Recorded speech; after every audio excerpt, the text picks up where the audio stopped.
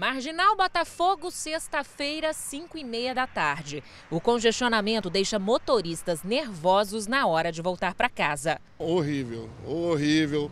O trânsito tá um caos. Graças a Deus eu tô de moto, que senão eu tava tá lá até agora. Acha que o motorista entende que tem transtorno, mas depois vem um benefício? Não, uns entendem, outros não entendem. Entendeu? Eu não entendo. No trecho que fica entre a Avenida Araguaia e a Independência, o trânsito está em meia pista dos dois lados da marginal. O resultado são essas filas enormes e muita imprudência. Carros e motos passam por essa terceira faixa, o que é proibido. Ela continua sendo o acostamento, ou seja, algum veículo que porventura tiver um defeito, né, houver necessidade de parar, é a faixa para atender essa necessidade. Ela não é faixa de rolamento, ela só pode ser usada realmente nos pontos de intervenção.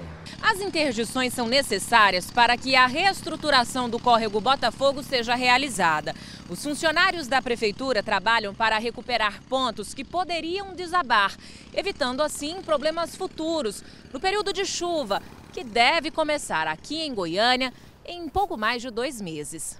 A previsão é de que as obras sejam finalizadas em dezembro. Com as alterações no trânsito, a Rua 44 fica ainda mais movimentada. Ela serve como alternativa para quem quer escapar da Marginal Botafogo. O secretário municipal de trânsito reforça que a obra foi dividida em trechos para não atrapalhar tanto os motoristas. A velocidade máxima permitida na Marginal Botafogo é de 80 km por hora, mas no trecho interditado é de 30. E aqueles que estão circulando por aqui entendam que a velocidade máxima permitida nos trechos de obra, né, nós vamos estar com a pista reduzida, vai ser somente uma faixa de rolamento e permitindo uma velocidade máxima de 30 km por hora.